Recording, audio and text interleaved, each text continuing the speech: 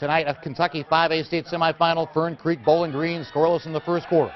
Bowling Green's Clark Payne drops back, and Fern Creek's Latrell Streeter comes up with a big sack on third down for the Tigers. Still first quarter. Bowling Green with the ball again. This time Payne gets it to D'Angelo Wilson, who tosses it to Jamel Carruthers. He takes it untouched for a 33-yard touchdown. Purples take a 7-0 lead. Then, second quarter, more from Bowling Green. Payne rolls out, finds Jacob Yates wide open for a 53-yard touchdown. Fern Creek lost 21-0, but season ends with a 12